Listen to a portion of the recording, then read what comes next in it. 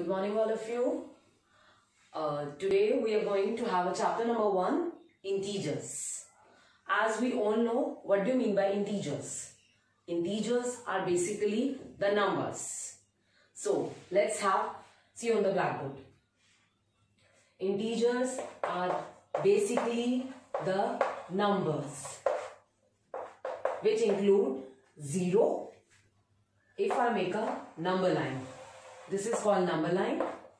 0 1 2 3 4 5 6 left hand side minus 1 minus 2 minus 3 minus 4 minus 5 this is called number line.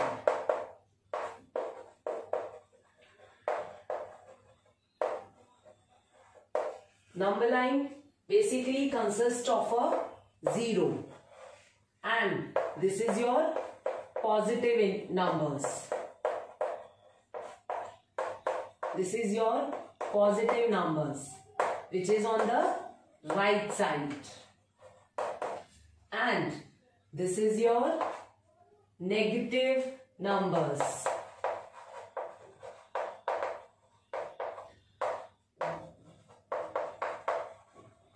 Which is on your left side. So, summary of all these is integers is a collection of 0 plus positive numbers plus negative numbers. Or in other words, we can say the collection of whole numbers plus negative numbers is called an integers. Let's come to the next part.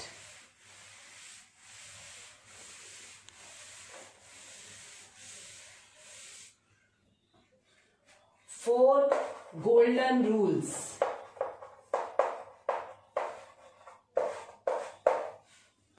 First one, plus plus is equal to plus. Second, plus minus is equal to minus. Third, minus minus is equal to plus. And fourth one is minus plus is equal to minus. Let's explain, I am explaining this with the help of example. First one, both are of addition. If I take plus 2 plus 4, it will be plus 6. Second one, plus 3 minus 2. 3 is of positive and 2 is of negative. So you will get 1 and sign will be of the greater number. So it will be plus 1. Third one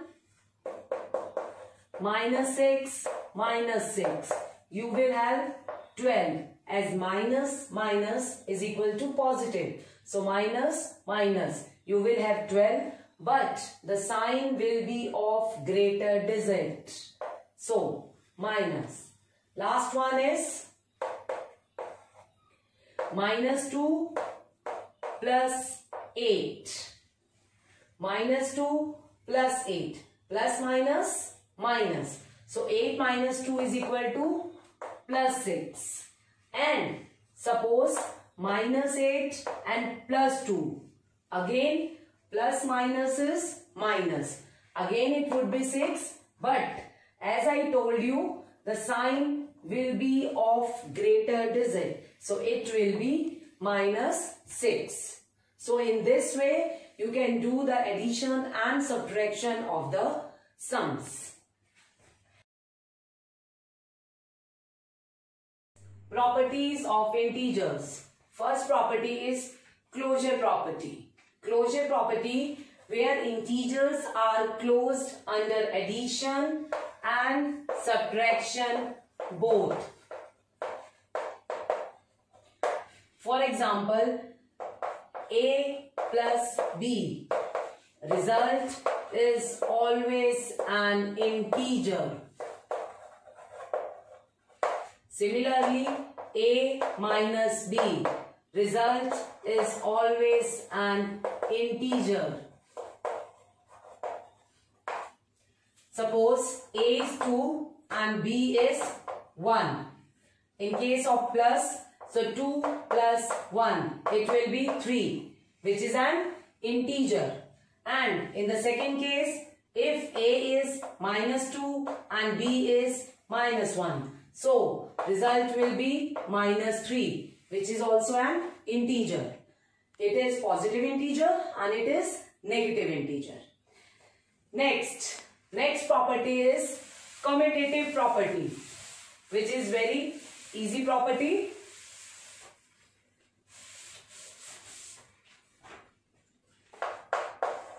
Commutative property. Commutative property states that A plus B is equal to B plus A. This is your commutative property where A is equal to 2 and B is equal to 3. So, we will have this is your left hand side and this is your right hand side. So, 2 plus 3 which is equal to 5 and contrary to it 3 plus 2 which is equal to 5. You will see in both the cases result is 5. So, A plus B is equal to B plus A. Third property is associative property.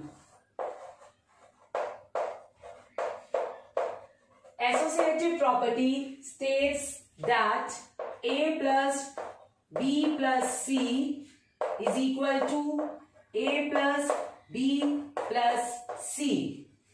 Here you have to first solve the bracket. This is B plus C and in this also first you have to solve A plus B. Suppose A is equal to 2, B is equal to 1 and C is equal to 3. Putting the values 2 plus 1 plus 3, 2 plus 1 plus 3.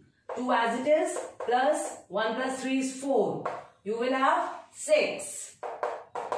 2 plus 1 is 3. So 3 plus 3 is 6. So in both the cases LHS is equal to RHS.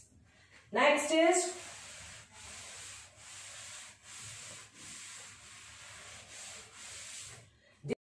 distributive property. Distributive property states that A multiply B plus C is equal to A multiply B and A multiply C. Let's have an example. A is equal to 2, B is equal to 1 and C is equal to 3. So, 2 multiply 1 plus 2 multiply 3.